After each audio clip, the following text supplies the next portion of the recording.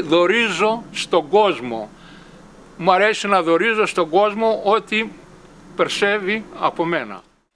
You can go all the way down. I got four sections like this and cover up the whole thing. You know what to put And, all uh, down now? I got this wood stove down in the basement, and I have a pipe come through this guido from the stove and go all the way out and warm up this place. I love, I love the plants. I love animals and birds. I used to have, you know, farm over in Indiana, and I have the best garden, you know, in the area.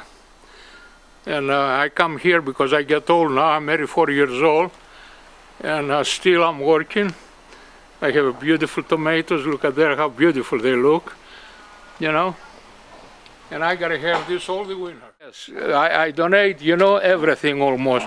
See, I use just very few, you know. You can't use all those things. And I donate to the church and to, I don't know what they call this. What's my, The poor, you know, for the poor, poor people. You know, they go and get free, you know. And now I come from Greece. I've been here on this country 19, 1951. And uh, I work on a factory first, and I did a lot of good things, you know. I make one discovery. After two years, I come from Greece inside the factory.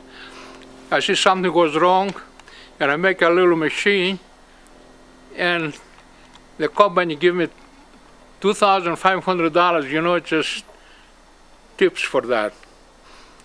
And I belong to the United States Science and Inventors Association because I make another inventions. I got inside, you know, the, the certificate. You can see them. And uh, I'm very happy in my life. I raised four kids. All they have uh, college degrees. I can show you inside here the pictures. And uh, they are really good kids. I got good family. I show you I got three grandkids. You gotta throw away? I don't wanna throw away.